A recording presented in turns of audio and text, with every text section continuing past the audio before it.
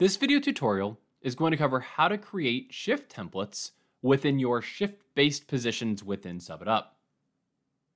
In order to access this screen, you want to go to the left-hand side under Schedule, and then go ahead and click on Configure Templates, and then you can click on Shift Templates, which is the next option. It will bring you to this screen. Now, initially on the screen, you're only going to see the position that's is your root position, which is your uh, the position that's loaded in the top left corner of your screen. And uh, if you need to load up other positions, feel free to click in the white bar here to load up any other positions you want, as well as um, if you want to load up all positions as well, you can do that. This is an important step in creating and setting up your SubItUp account because these shifts that you create are going to be the shifts that your staff input availability for. They're going to be saying whether they are available or not for these specific shifts. And when you go and you auto generate a schedule, these are the shift times and templates that the system is going to reference. And you can also use these templates to easily manually create a shift on the actual schedule or calendar as well. To get started in creating your first shift template, you'll go up to the right hand side and select add new shift. First step is to select the position which you want to create a template for. So this is going to be for our weight room staff position and then if this shift template is going to be active or not. So for now, we're going to leave this as active, and I'll explain later the difference between an active and an inactive shift template. Next up will be the shift name, and this should be some kind of description or something uh, that the employee, when they see it, knows what exactly type of shift that they are working. Uh, if you have multiple locations, uh, so if you are a uh, organization that uh, has staff that within this position will be sending staff to multiple locations, you'll definitely want to include that location here in the title. So uh, I'm going to go ahead and say for this specific position, this is a morning shift, and it's going to be at Smith Hall. If you only have one location, you may not need to put your location for each individual shift, but if you have multiple locations, you definitely will want to do that. Next up is selecting a color for the specific shift template. So uh, when you're looking on the calendar, do you want these uh, th this specific shift template to display in a certain color? And since this is a morning shift, I'm gonna go ahead and make it yellow. Next is the shift start time and end time. And this is gonna be very important to how you initially set up your position. In order to put in your start and end time, you can just go ahead and select your start time, which I'm gonna say minus 7 a.m., and your end time, which I'll put in as 10 a.m. Now, if you have set shift times, so these are, you always need somebody from 7 a.m. to 10 a.m., for instance, and then 10 a.m. to 1 p.m. Uh, those are the shift templates that you're going to want to go ahead and build out in those specific times. If, however, you adjust your shift times depending on your employee's availability, you may want to consider making smaller shift blocks. So maybe only hour long or potentially even less amounts of uh, shift blocks for the amount of time that you need coverage throughout the day. What the system will do at this point when you auto-generate is it's actually going to go ahead and it's going to try to group shift blocks of time together. It's going to try to get employees to work back-to-back shifts in those smaller blocks of time. So what this is going to eventually do, it's going to lead to different differing shift lengths uh, across the day. So if this is the option, definitely you might want to consider that. And just keep in mind that somebody can be scheduled for just one of these shift templates, even though the, the system and the algorithm is going to be looking for um, those back-to-back shifts. So just make sure that this shift template time is a time that you would be comfortable for your staff uh, to be able to work that shift. So if my minimum amount of time I want a staff to work, my staff to work is one hour, I would not want to go any smaller than one hour shift blocks. The next item is a shift note. So uh, for the shift note, any shift time the shift template is used, this note will be there for the employees to see. Next up is creating a shift as a task. And for more information on that, you can check out this uh, question mark that's over on the right-hand side. But uh, essentially, tasks are used to assign a task or a chore to an employee who's already scheduled. So these can uh, be overlap overlapped with a currently scheduled shift. Um, so, for instance, if you wanted an employee that was scheduled from 9 to 5, but you wanted them to be in a meeting at 3 p.m., you might want to schedule a task for that meeting at 3 p.m.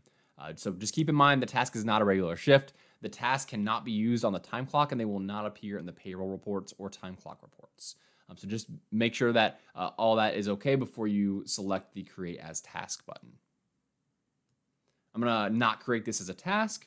And then for GL codes, if you have GL codes loaded within the system, um, you can use utilize this dropdown and attach a GL code specifically for this sh shift template anytime that it is used. The next tool here is the rate adjustment tool. So if you select the rate adjustment tool, uh, this is used to change what their normal pay rate would be for the specific shift. So and maybe an extra bonus. Maybe uh, for working an early morning shift, uh, my staff will get an additional pay rate on top of what they're normally paid. If that's the case, you have four different options here. Um, you have a straight dollar amount. So this is a they get a um, an additional amount of dollars per hour added on for the specific shift. Um, the percentage is they get a certain percentage that's going to be um, uh, added onto the shift. A uh, the the x the multiplication is also is you're retimesing it. So if you're doing time and a half or double pay, you can use the x or a flat rate. So for this specific shift, it is a flat rate. They get paid this no matter what that they are, uh, no matter what they are originally set up in as in under pay rates uh, on the staff page. Um, you can use the flat rate. So I'm going to use the X here. I'm going to say it's going to be time and a half because this shift is so early. And for more information on this as well, you can hover over the uh, question mark here and it will kind of break down to you what each one does. Next up for daily occurrence, uh, you'll need to put in the amount of staff that you need each day of the week that you need them. So I only need one person Monday through Friday for this specific shift template. But these can definitely change depending on uh, what your business needs are. And then you'll need to go ahead and go over and make these active. So on the left-hand side, if these are not active, then the system will not know that you are that you need um, employees for this specific shift on these specific days. Now you're gonna see this yellow uh, triangle that shows up here. And this is basically telling you you don't have enough staff availability for this shift. And this is normal because you just created this shift. Uh, so once you have staff members um, that are going to be input or they're going to be putting, inputting their availability, you'll see their names start popping up here um, as available to work. The only time you would need to go in and actually select people to work and say that they are available to work this shift is if you hire them to work this specific shift and you know they are available right off the bat. Uh, in that case, you may want to go ahead and uh, and tell the system that they are available since when you hire them, you know they were available for this specific shift. Otherwise, you can leave it for their availability, and once they fill out their availability on their end, they'll be able to go through and uh, and input what they're available for. After you've inputted all these, you can go ahead and save, and your shift template has been created. So when you're here, it's just going to tell you uh, the status. So if it's checked, this means it's active. Um, if it's not checked, that means it's not active. Uh, and if you want some more information about um, what that means and how that may affect your schedules, uh, if you are using maybe a seasonal uh, template or you have certain times where you need to collect availability for one shift while another schedule is already in use, you'll want to check out the video that's down below on seasonal and holiday templates and scheduling using shift templates. Anytime there is a icon like this here, it means there's a rate adjustment. So here it's uh, 1.5 times. Uh, so it's time and a half is just showing me what that rate adjustment is by hovering over. And then here you'll be able to see the start time, end time, shift length, total amount of shifts, and days of the week. Now, if I wanted to go ahead and duplicate this shift, so um, everything else looks good here, but I want to change, uh, maybe my next shift is from 10 to 1, I can use this duplicate tab on the far right, and I can select the position. So I can even copy over this shift template to another position if I wanted to. But I'm going to choose my weight room staff. Uh, and this is actually going to end up now being a mid shift, but still at Smith Hall. Uh, it's going to ask you if you want to copy over the availability um, that was associated with this shift, but since it's brand new, um, there is no availability right now associated with it. And then for uh, for tasks as well, uh, do you want the um, this to be created as a task? And this was not already a task, so I do not want it to be a task. Once you hit duplicate, everything has been copied over, uh, save for the rate adjustment. That is something that is not copied over and you'll need to go in and input manually if, if you need a rate adjustment for this specific shift. So I'm gonna go over and hit the edit button. And now I'll be able to change my times to 10 a.m. to 1 p.m. Everything else is exactly the same. No readjustment needed, and I can hit save.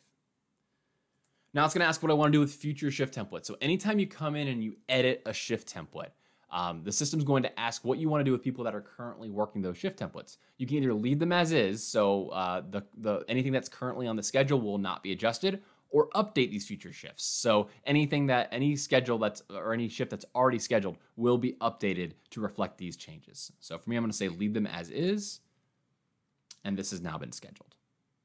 Now I'm going to load a couple other positions here to show you what a fully built out uh, shift template um, may look like for a certain position. So I'm going to choose my equipment staff, my front desk position. So when we talked earlier about those smaller shift blocks of time, uh, this equipment staff position is built out exactly like this. So um, the smallest block of time that my staff can work is one hour. So I set up one hour shift blocks from the start of when I need people until the end of uh, and the end of the business day. So you can actually sort uh, these these uh, templates here. So I'm going to sort by start time, and you can see you can see it's 8 a.m. to 9, 9 to 10, 10 to 11, all the way down until 3 p.m. Um, so when I actually go and I make a schedule and I auto generate a schedule, then uh, these all these shifts will be filled, but my staff it will do its best to have them filled back to back shifts.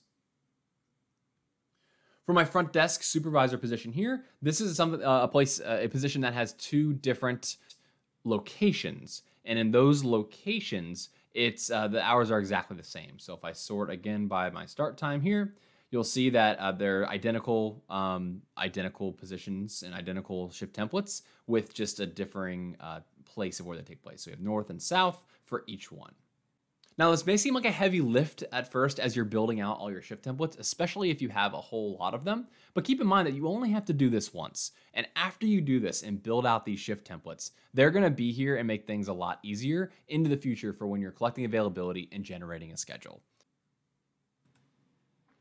Lastly, I just wanted to show you what it's going to look like from the employee side. So now that you've built out all these different shift templates, uh, when they go to put in their availability, this is what it's going to look like from here. So as you can see here, we have for our front desk position, these are the ones that are um, larger blocks of time, but they are uh, in two different in two different locations for each one. So you'll see those all built out here. The equipment staff position has uh, hour by hour time blocks, so they'll be able to go in and put in their availability for those time blocks as here as well. And then the weight room staff positions that we just created will show up here on their availability. So they're going to be putting in availability for exactly what you put in onto your side of the system and be able to tell you whether they are available or unavailable for those specific shifts. And that was how to create shift templates when you are using a position that uses shift-based availability. As always, if you need have any questions or need any further support, please feel free to send us an email to support at subitup.com or give us a call at 617 401 8733. Our office hours are Monday through Friday from 9 a.m. to 5:30 p.m. Eastern Time. Thanks so much.